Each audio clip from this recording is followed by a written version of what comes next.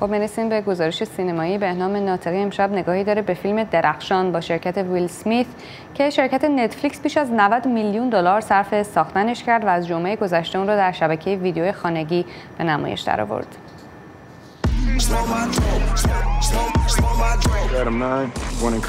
در درخشان شخصیت های برگرفته از کتاب ارباب حلقه های تولکن از جمله حیوله های انسان نمای افسانه این موسوم به اورک ها در کنار پریان بالدار و جادوگران همزیستی گاه خشونتباری در شهر لس آنجلس با انسان ها به خصوص پلیس ها دارند. ویل سمیت نقش درل وارد افسر پلیسی رو بازی می کند که ناچار می شود با اولین پلیس از جنس اورک یا حیوله های انسان نما با بازی جول اجرتن در محلات خطرناک گشت بزند.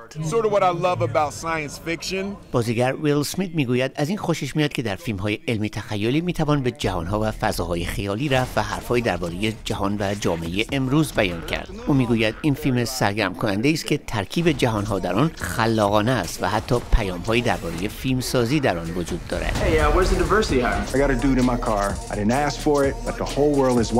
در وارد شخصیت ویل سمیت از یک طرف با نفرت نژادی پلیسا نسبت به حیولای اهلی شده همراه خودش روبروست و از طرف دیگر با تیکا دختر جادوگری همراه می شود با بازی لوسی فرای که جادوگرهای خبیس به رهبری لیلا با بازی نیومی راپاس برای دست پیدا کردن به درفش سهرامیز در تعقیب او هستند. سناریست و کارگردان دیوید آیر می‌گوید به نظر او در جهان امروز نفاق زیاد هست و حرف زدن درباره نفاقهای فرقی و طبقاتی و تنشهای نژادی کار دشواری است. اما آدمهایی که دل و چشمشان بسته است می توانند بدون آنکه احساس کنند به آنها موعظه می شود این فیلم تمثیلی رو تماشا کنند.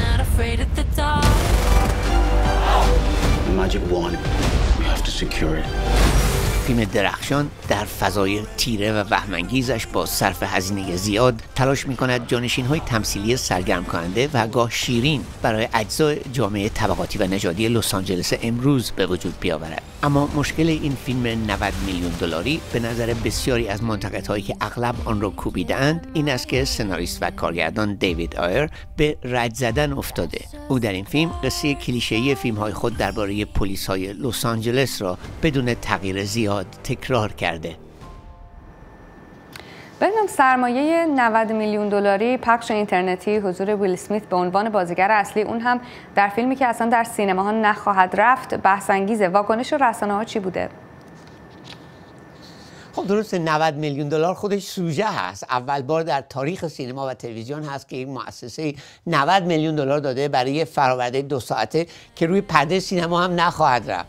شرکت های توزیع اینترنتی آمازون نتفلیکس و نظار اونها با ریختن میلیاردها دلار پول در هالیوود نظام فیلمسازی رو به کلی عوض کردند. ادبیات جادویی و تخیلی منظور اینجا کتاب های جی آر آر تولکین هست به خصوص ارباب حلقه ها و هوبیت حیوله ها، ارک ها، الف ها، پری ها و دیگر موجودات اون کتاب ها که تو این فیلم دیده میشن از اون از تولکین الهام گرفته شدن. و ترکیب شدن اینجا با ژانرهای فیلم های پلیسی رفاقتی. از نوعی که خود ویل اسمیت بارها کار کرده. مثلا سری من این بلک یا فیلم بد بویز و دو تا از اون درست کرد.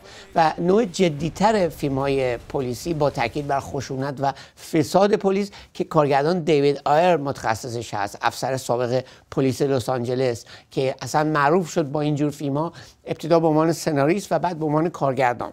فیلم های شاخصی مثل Training Day رو کار کرد روز کارآموزی Street Kings و End of Watch اما به وجود آوردن ترکیب های دور از ذهن از چیزهای نامأنوس یا مش‌آپ کار بعضی سناریست های جوان و زرنگ هست. آماری وجود نداره که ببینیم چند هزار سناریوی mash-up تا حالا خریده شده در هالیوود که تو قفسه های بایگانی تلمبار هست.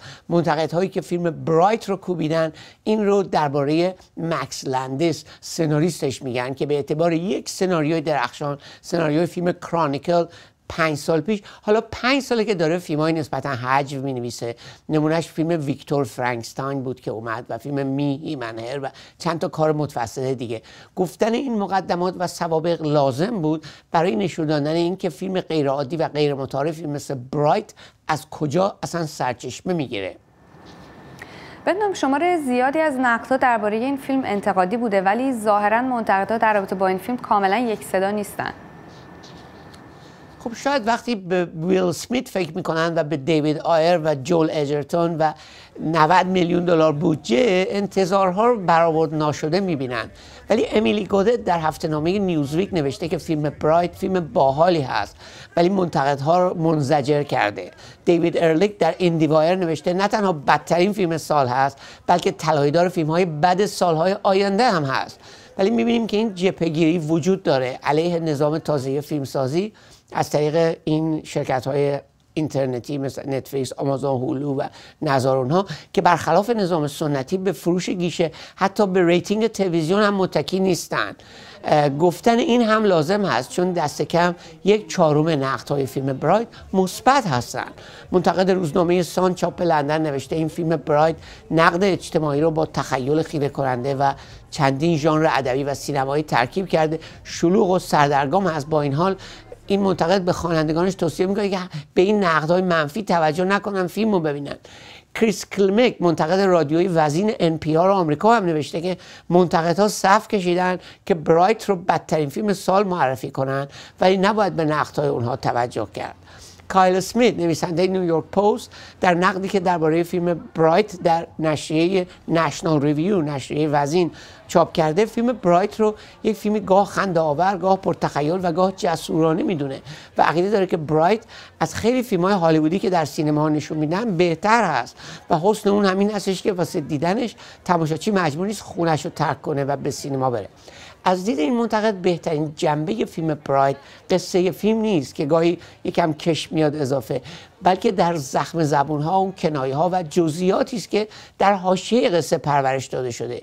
یک مشکل اساسی شخصیت اورک اون پلیسی که هیولاوش با بازی اجرتون این هستش که از یک طرف با نفرت های پلیس نجات پرست لس آنجلس یعنی همکاران خودش روبرو هست و یه طرف دیگه هم باید زخم زبان و آزار اذیت هم نوعان خودش رو تحمل کنه که چرا با پلیس داره همکاری می‌کنه.